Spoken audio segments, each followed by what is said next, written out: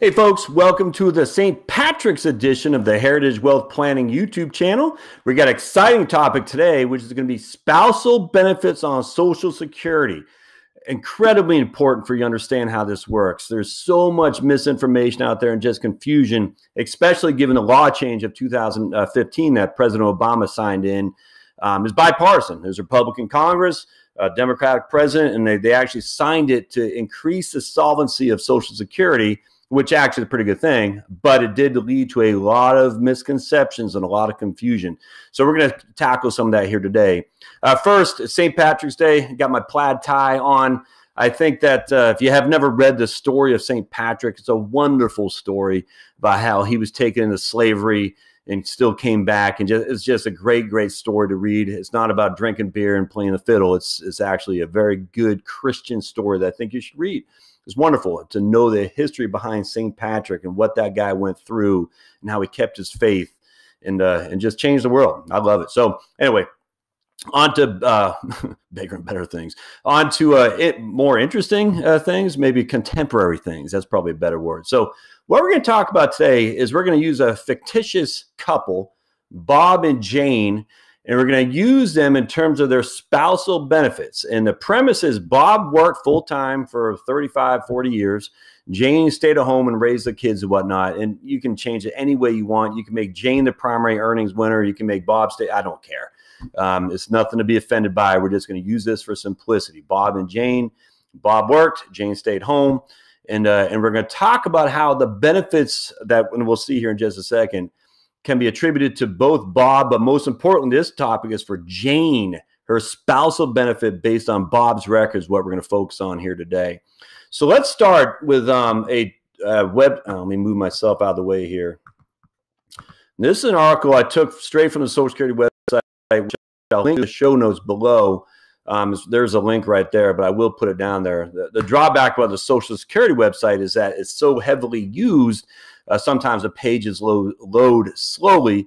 And when you're trying to do a, a video and record the pages load, loading slowly, it, it's not a very good user experience. So I just copied and pasted into this Google Docs um, form here. And uh, but if you want to look at it directly, just click the show notes down there for the link. So first thing they say on spousal benefits, and this is this is important, folks. I, I really don't think a lot of people realize this especially as they're planning for retirement. They might realize it after they go to Social Security, but as they're planning for retirement, do they are they aware of the benefits that they're rightly uh, entitled to? I'm not so sure. So let's make this clear.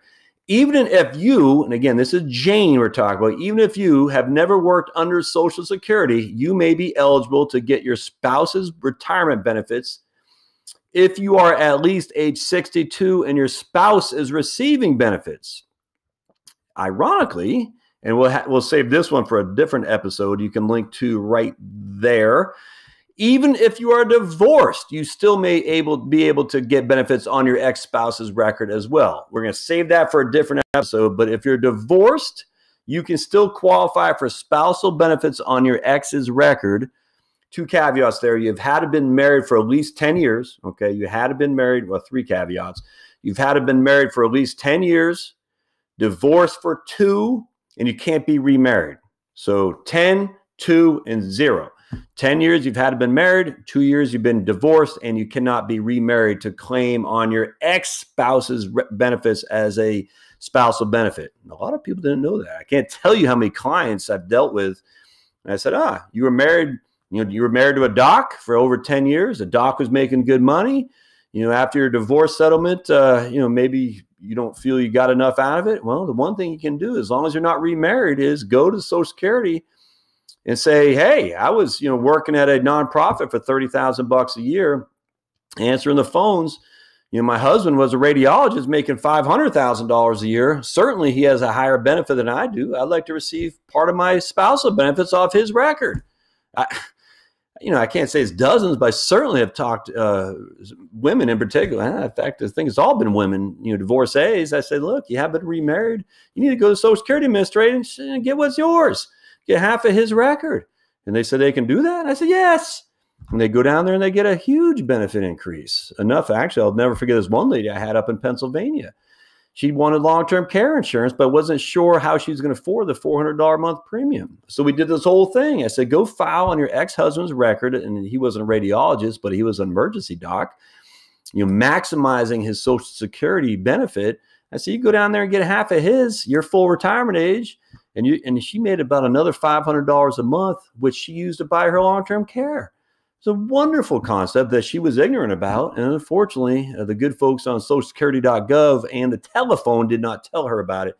So I said she needed to get down there and talk to him in person. And lo and behold, she was right. And she got that money, was able to purchase long term care coverage because she was very, very worried about her kids having to take care of her uh, if she ever became, uh, uh you know, destitute. And that was not what she wanted to happen. All right. So if you qualify and apply for your own retirement benefits and for benefits as a spouse, Social Security will always pay the higher, will always pay your benefits first, but they will pay the higher of your own benefits of your spousal's benefits. So they're going to look at your own benefits first.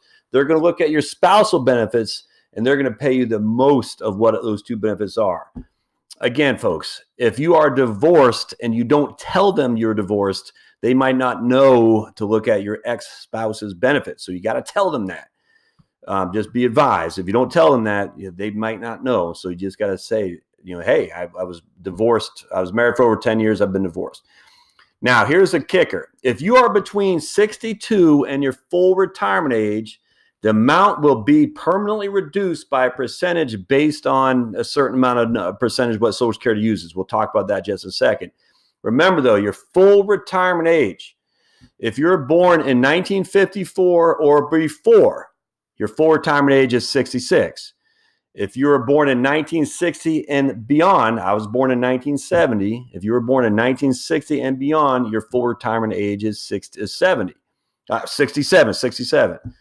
If you were born in 1955 to 1959, your full retirement age is 66 and some months. So between 66 and 67. Just remember that. 54 before, 66, 60, and a, uh, born between ni- uh, 1960 and beyond. Full retirement age is 67. Anytime before that is between, or anytime in between 55 and 1959 is 66 and some amount of months. Um, now, this is the critical thing when it comes to spousal benefits and divorcee. Now, a divorcee is still a spouse. I'm just I'm going to stop using that term. Just remember, if this is applicable to you as a divorcee, this is still applicable to you as a spouse.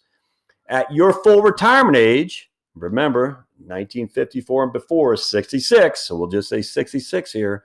Your benefit of a spouse cannot exceed one half of your spouse's full retirement amount. All right. One, you cannot be one half of your spouse's full retirement amount. Now, here's a critical thing that's only applicable for those born between before January 2nd, 1954. And I'm definitely going to post another video on this exclusively because if you are born January 3rd and beyond of 1954, no reason to watch. It won't affect you in the least because of the tax law, Social Security law that was signed by Obama in 2015. If you were born before January 2nd, 1954, and have already reached retirement age, full retirement age, you can choose to receive only your spouse's benefit and allow your own benefit to accumulate with delayed earnings credits. It's called a, uh, nah, drawn a blank, a restricted application was called. We're getting that restricted application. I'm not going to talk about here right now because this, this video isn't for that, but just remember that if that's you, you're crazy not to consider what that restricted app- application means. All right. So let's go down here. Um, oh, finally, if there's an ex spouse who also qualifies for benefits, they will not affect the benefit the other spouse receives. So going back to this, the, the case up in Pennsylvania with one of my clients, when she received half of her ex spouse's benefits, he did not know and it didn't affect him at all. He was completely ignorant of it. He didn't have to approve it he did not know it, it didn't reduce his benefit in the least. So just keep that in mind. If you're a divorcee and you're thinking about filing on your ex's uh, primary insurance amount, his retirement benefit, he does not need to know. He will not be made aware, and he won't need to approve it, and it won't reduce his benefits. So don't don't worry about that. That's just the way it is, which is great. So let's go into use an example here of how this works. So what we're going to do is we're going to say, but go, yeah, okay Bob and Jane. All right. So Bob is the primary worker. Jane was a stay at home mom. Bob was born 615, 1952. Jane was born 615, 1954. That means that Bob's full retirement is in 2018 in June. June of 2018 is when he will get his full Social Security benefit. And he wants to, ironically, he wants to retire that same time. He wants to retire the day he qualifies for his full retirement age at Social Security. Jane, because she doesn't work too, essentially is going to retire then as well. All right. So Jane and Bob are going to retire June 2018 when Bob turns 66, which means he will qualify for his full retirement benefit from Social Security. So let's step back just a tad. How did we calculate that? Well, remember this video here, we talked about the, the average index monthly earnings, AIME. Bob's AIME was $4,059. Essentially, he averaged $48,000 a year in today's dollars for his last his, his 35 years of working career. So we take his AIME, we use the bend points that we have here, means his benefit full retirement age is 1819. $1,800 $1,800 and uh, $1,819.14. So because Bob is waiting until he's 66 at full retirement age, his benefit will be from SSA, Social Security Administration, $1,819.14. Just for the record, if Bob would have retired earlier, he would have been had his benefit reduced by 500 bucks. If he retired 25%, if he would have retired later, he would have had his benefit increase by 600 bucks or 32%. But he has not. He's retiring at 66 to get his full retirement amount. Now, quiz, what is 1819 for Bob? That's his PIA, his primary insurance amount. And that's a critical portion of this because not only does PIA affect Bob, but this PIA is going to affect Jane's benefit as well based on Bob's record. All right. So now Jane is going to also retire when Bob does. And again, retire just means in this case, she's going to draw her Social Security benefit. So as a as a as a, a point of reference here, if Jane were to retire when she was 66, her benefit would be one half that her benefit would be 909.57. If Jane were to retire at her full retirement age, at Jane's full retirement age is 66. Um, we'll just say FRA. Her benefit would be one half of Bob's primary insurance amount or full benefit, which would be $900. So between them, they're going to get about $2,700 a, month in Social Security, 1800 plus 900. Yeah, 2,700 a month, which means 32,000 a year in Social Security benefits. Not too shabby. But Jane is going to retire. Jane is going to file at 64, which is a two years earlier than her full retirement benefit, which means she will take a reduction in how much she gets. And thankfully, the Social Security Administration gives us a great little tool here that tells us how to calculate that. So enter your date of birth. Now we're talking about Jane. Jane, enter your date of birth. And she's going to say is 06, we'll just say, what did I say, 15, 1954. And enter the date you would like to be, oh, it didn't work, uh, 0, 15. Okay, hold on just a second, my friends. Fat fingering it here. 06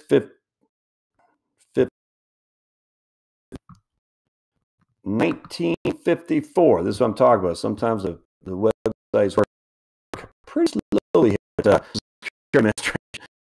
Enter the uh, year which you'd like to begin receiving benefits. And we're going to say 06 1954. And then you hit compute. And it's going to tell you that Jane we'll say 07 then. It's saying she has to get it the year after. Okay. So it's going to tell us that Jane would, if any of you like to begin receiving benefits, and here if you'd like to be, uh, Month, year, format. Okay. You'd like to begin receiving benefits. You must be at least 62. Your retirement year must be after. Oh, so it's going to tell her the benefit. Her re- full retirement year is 2020. I'm not sure why it's not allowing us to do this here. 6, 1954. Hmm. Oh, uh, 2008. What am I talking about? 2000. There we go. 2018. All right. So saying 2020 is when Jane would have received her full retirement benefit. 2020, which again is half of Bob's record, the 909. But because she's taking it in 2018, she's not going to receive 50% of it. She's going to receive 41.67% because it's going to be reduced to her because she is taking early retirement benefits as well.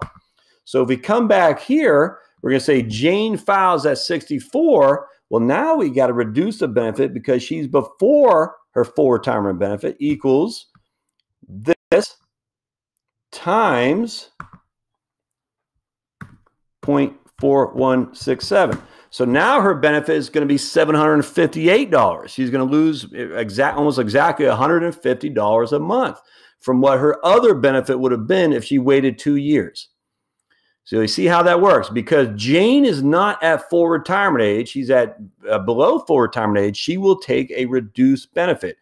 If she wanted her max benefit, her max benefit will never be beyond 909 based on uh, Bob's record. She would have to wait till she's 66. Now, the interesting thing, folks, this amount is all that matters for Jane. It doesn't matter when Bob takes his benefit. Bob can take his benefit at 62, and Jane's record is still going to be this way. It's still going to be $909 if she waits till she's 66. And this is what's critically important, and so many people miss it. Bob can take early, Bob can take late, but when Jane hits 66, she needs to file for her spousal benefit, regardless of what Bob is doing. I cannot stress this enough. If you don't learn anything else in this video, remember when Jane, the spouse, hits her full retirement age, 66, she needs to file for her spousal benefits regardless of what Bob is doing. Jane needs to go down there and say, I am 66 or a full retirement age. I want to file for my spousal benefits. If Bob filed earlier, doesn't matter. If Bob filed later, it doesn't matter. This is the contingent number right there. Bob's PIA is all that matters for Jane. Nothing else matters. Please understand that. A lot of people say, well, Bob hasn't filed it. I don't care. If you are full retirement age, go down to Social Security office and tell them you want to file for your spousal benefits because you've reached full retirement age. First thing they're going to do is pick up your spouse's Bob, in this case, PIA, $1,819.